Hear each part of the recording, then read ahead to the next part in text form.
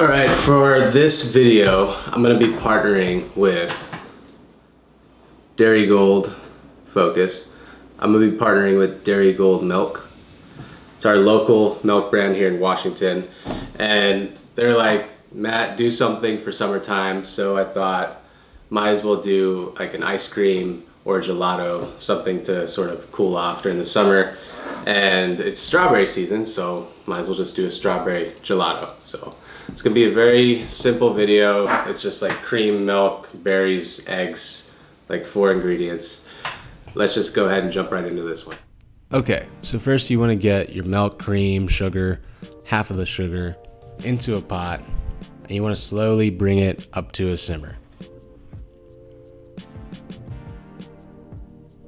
Now once you've got that to a simmer, set that aside and you want to have your egg yolks already set into a bowl ready for you to start tempering.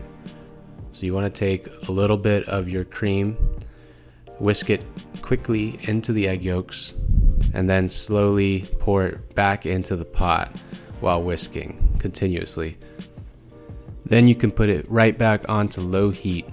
You're doing this so you can introduce the egg yolks to the heat without curdling them, so you don't get scrambled eggs in your custard. At this point, we'll toss in the vanilla and stir it. Continue to cook it until it thickens. Once it coats the spoon, that's when it's done. That's also called nappe. That's a way to say it. Coats the back of the spoon.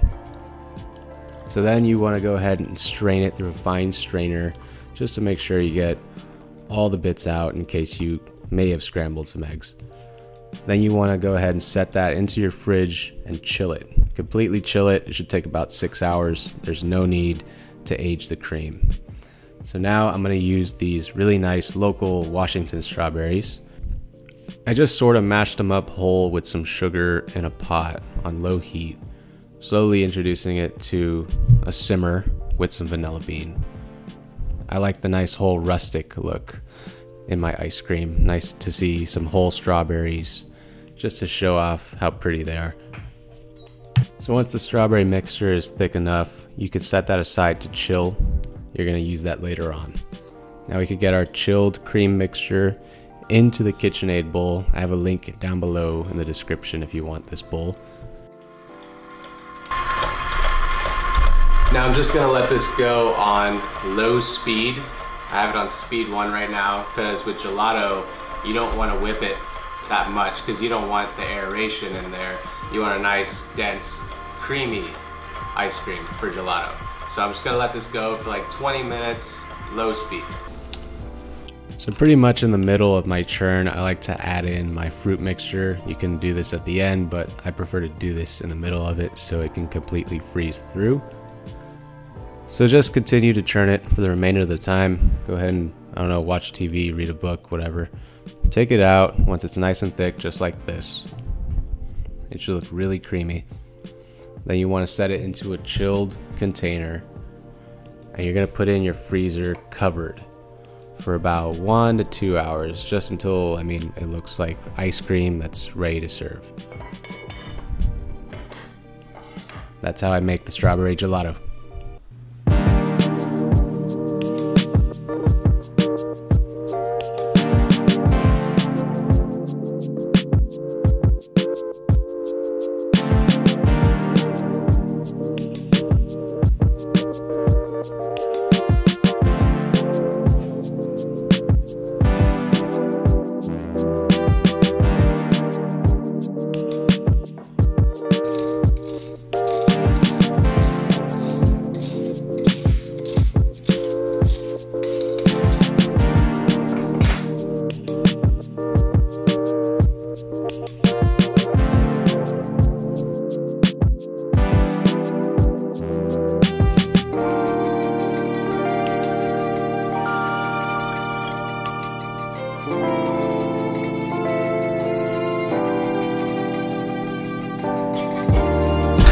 Okay, the gelato came out really good, nice and creamy. You could do this with any other fruit you want.